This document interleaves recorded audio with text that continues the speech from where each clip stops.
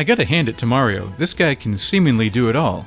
Whether it's rescuing the princess again and again, uh, kart racing, fighting off the Covenant, uh, he really excels at no matter what he tries. Uh, and apparently, this includes soccer, because we have here Super Mario Strikers on the GameCube. This is a fun, fast paced, arcade style sports game. Uh, it might lack a little bit of depth in terms of game modes, uh, but its core gameplay is really solid, kind of like a classic arcade game that, you know, maybe you don't play it every day, but it's something you'll want to revisit again and again. And of course, you don't have to just play as Mario, there's many of your favorite characters to choose from.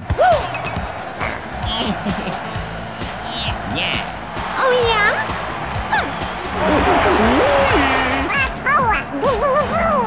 Come in! Waluigi! Yeah?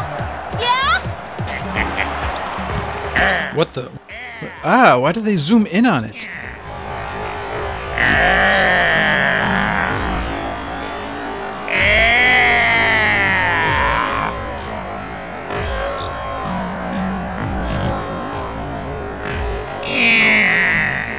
Alright, that's enough of that.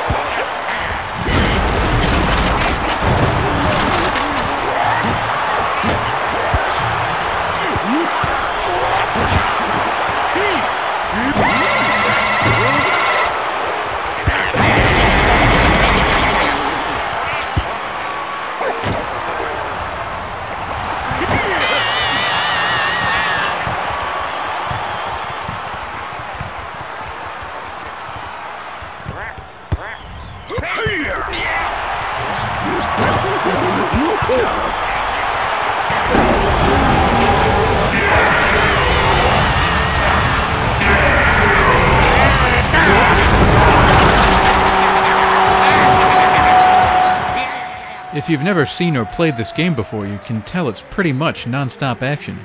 In fact, the only break in gameplay comes when you score. Uh, there's no offsides or penalties or anything like that. And there's no throw-ins or corner kicks either, due to the electrical barrier or fence that surrounds the action. Uh, this keeps the ball in play at all times, and is also good for uh, hitting your opponent into and shocking them. When you start a game, you have to choose your team captain and sidekicks.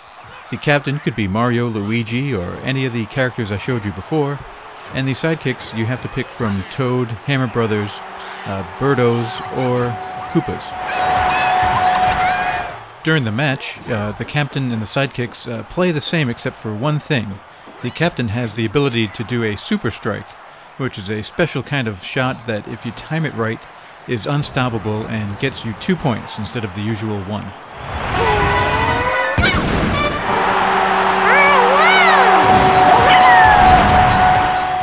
You'll notice here I'm playing against the Super Team, which is the one unlockable character set in the game. Uh, it's a team of all robots whose advantage is that any one of them, not just the team captain, can do a super strike. Super Mario Strikers is a good game to just pick up and play. The controls are easy to learn, but contain all the things you'd expect in a soccer game.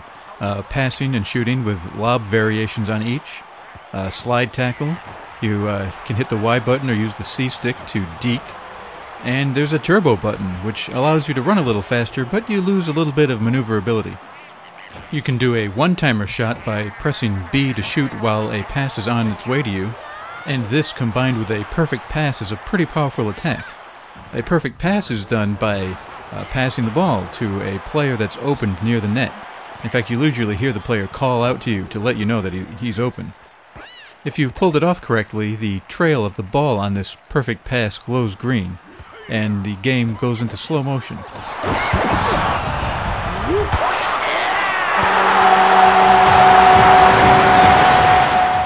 While on defense, you can do what the game calls a big hit, which is basically just a full body check on your opponent.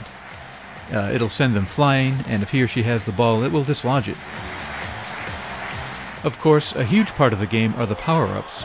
Some of them will enhance your abilities, like the speed boost or the star that will make you invincible, uh, but most are weapons. Uh, these include uh, the freeze shell, uh, homing shell, banana peels, and the rare but awesome chain chomp.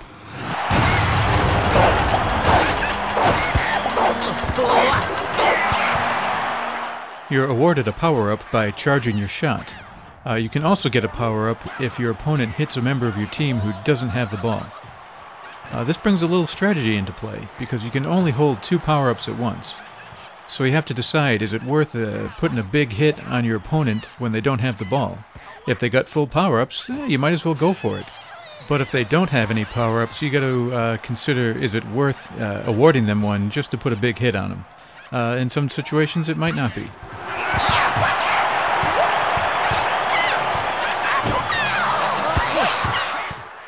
Of course, being a Mario game, you know Bowser's going to make an appearance, and he does show up occasionally, uh, just to cause chaos.